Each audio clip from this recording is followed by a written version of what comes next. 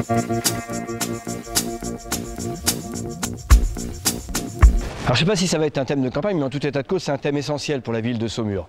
Il nous faut euh, reprendre la main sur le centre-ville, arrêter de construire dans l'immédiat tout au moins des commerces à l'extérieur pour remettre à l'intérieur. Alors comment je vois les choses? D'une part, nous avons un certain nombre, la ville de Saumur a un certain nombre d'immeubles euh, en centre-ville, entre la place Saint-Pierre et euh, la rue Saint-Nicolas, qu'il nous faudra réhabiliter et mettre à disposition de commerces pour que le commerce du centre-ville revive. Le mettre à disposition dans des conditions financières qui soient euh, accessibles et euh, dans de meilleures conditions pour faire, euh, pour faire simple. Ça, c'est la première chose. La deuxième chose, il faut remettre un certain nombre de logements en plein centre-ville, qu'ils soient du petit logement, mais aussi du logement du type 2, type 3 jusqu'à type 4, de telle sorte à remettre de la vie de mettre de la vie dans le, dans le centre-ville de la ville de Saumur.